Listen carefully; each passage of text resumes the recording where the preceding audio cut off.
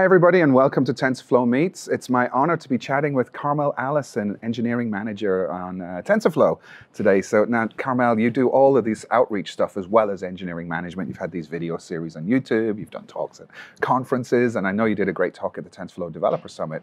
Can you tell us a little bit about you, what you do, as well as all this great stuff? Yeah, so as you mentioned, I'm an engineering manager for TensorFlow. My team works on high-level APIs. So that's mm -hmm. Estimator and Keras.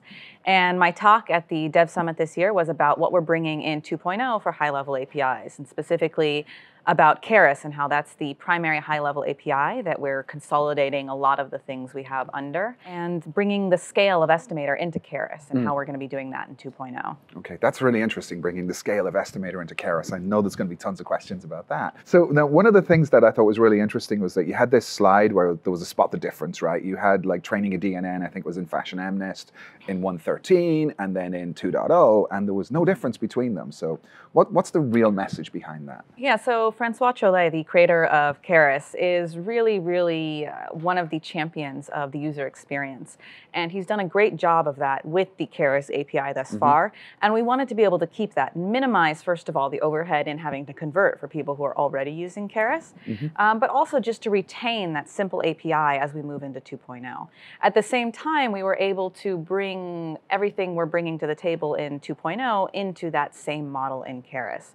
So that same model works in eager mode and in graph mode. So the same one in 1.13 would be graph mode, but in 2.0 it's going to be in eager mode, which allows you to more easily debug, prototype, and all of that. Mm. Um, it also works with distribution strategies, with feature columns, with all these different tools and pieces that we're bringing in 2.0. We wanted to make sure that same Keras API worked as it does now. I see. Okay, cool.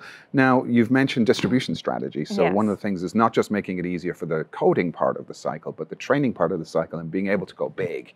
So could you tell us a little bit about what distribution strategy is all about and how it works? Yeah, so distribution strategies is a set of strategies, a set of ways to distribute your model. Um, there are a number of them, including uh, mirrored strategy, which is distribution across multiple GPUs on the mm -hmm. same device or on the same machine. Um, there is also multi-worker mirrored strategy, where you're mirroring across multiple machines, all with their own devices. And we've also got coming in the future parameter server strategy, which is going to be uh, distributing asynchronously across wow. you know, hundreds of nodes, which is the kind of training we often do at Google. Right. Right. Um, and it's really exciting to build that in as a simple API, a flexible API that mm -hmm. works for you know DeepMind, for Google researchers, but also for the people who are outside um, of the TensorFlow uh, repository right now. Right um, and to make it easy to use, but also really performant. You know, there's mm -hmm. a mm-hmm. lot of work that's gone in under the hood to make sure that the scaling efficiency is really high, even though the code stays simple. Nice, nice. And now this becomes available to almost anybody who yes, wants to use it, we right? Hope. You don't have to be a Googler. so now I'm going to put you on the spot for a minute because there's all this great new stuff that we've been talking about in TensorFlow 2.0. Do you have a favorite? I think some of the things I'm most excited about are um, TF functions. So this is uh, this is some of the magic we're bringing in in eager execution, okay. where you can actually continue to use you know, graph style code and get the performance of graph style code even though you are in eager execution. Mm -hmm. That's one thing. Um, another is what I just mentioned, which is parameter server strategy.